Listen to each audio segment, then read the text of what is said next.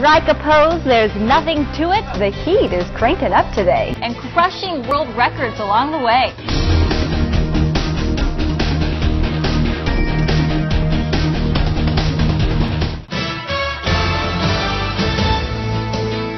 I think the birds are singing because I hear the sun is coming out to play. I'm so happy. It might be the ultimate don't try this at home. A Dallas woman is an expert sword swallower at nine months pregnant.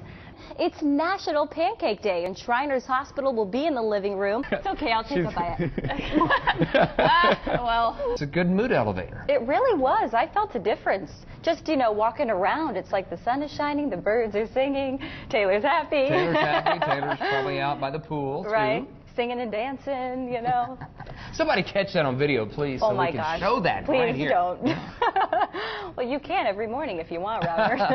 Have a finger licking announcement. The newest weapon in the breakfast wars is a biscuit shaped like a taco. Taco Bell is ditching the waffle taco and now launching the biscuit taco. Oh. For those of you who haven't tried it, you can get it filled with eggs, sausage, cheese, deep fried chicken, and jalapeno honey sauce.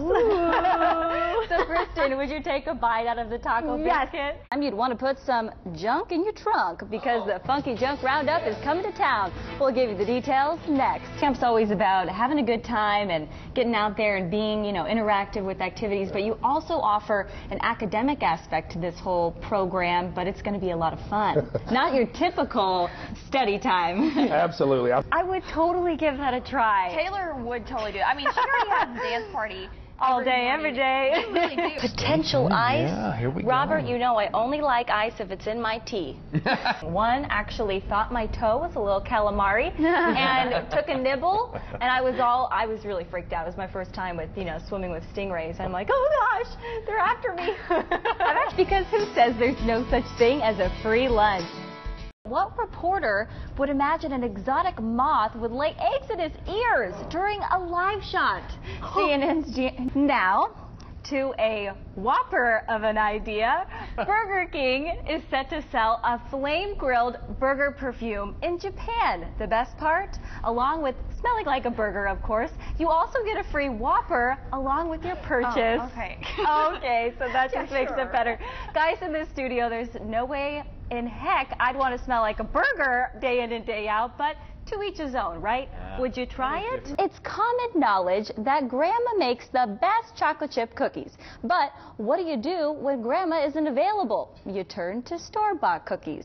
But which brand gives you the best chunks for your buck? A blind taste test was done with 11 different store-bought cookies.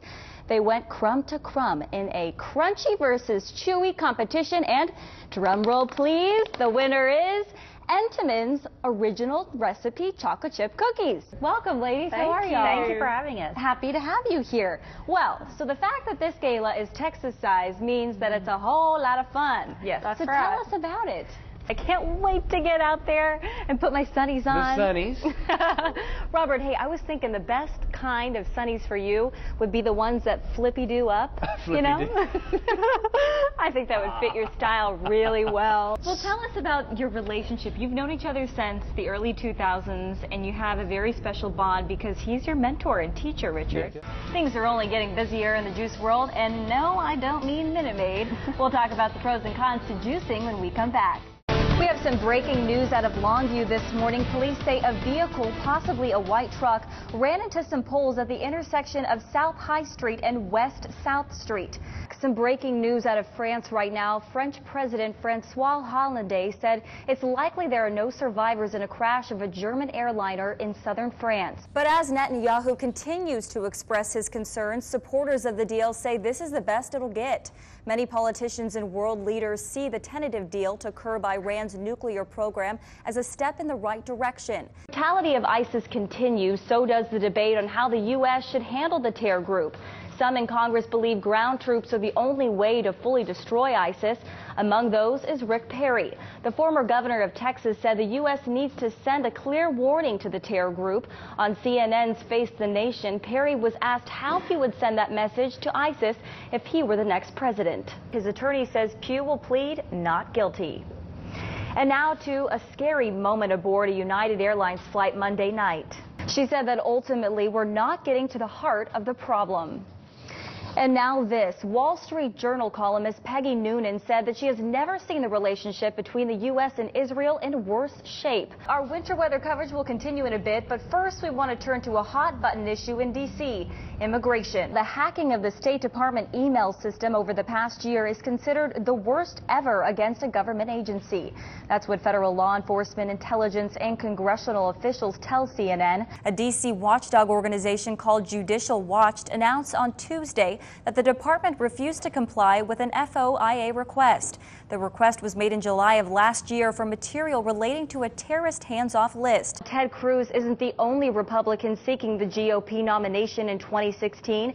He's facing off against more than a dozen high-profile Republicans who have expressed serious interest in a White House run. Greg Abbott has filed an amicus brief in opposition to the Obama administration's amnesty plan.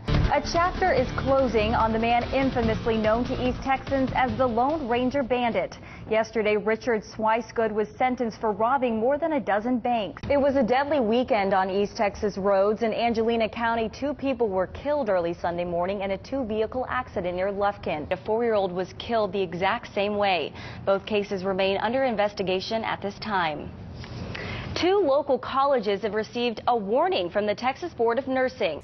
The Associated Press confirmed that Hillary Clinton used multiple devices for official State Department business. The AP reported that Hillary Clinton used her iPad in addition to her BlackBerry device while Secretary of State, despite the fact that she claims she only used one device for convenience. Islamic State-driven violence rages in Iraq. People are using any means possible to escape. For some, that means dressing in drag. You can do well and be well with diabetes, and there's an upcoming class to help you do so. You won't believe this. A gluten-free diet is for the birds oh. in one Florida city. Now, Robert, I tried to catch the fog this morning, but I missed it. I had to. I had to. It was just too good to not share with y'all. Monkey business for you this Monday morning. Thank you so much for joining us and make it a great day. The choice is yours.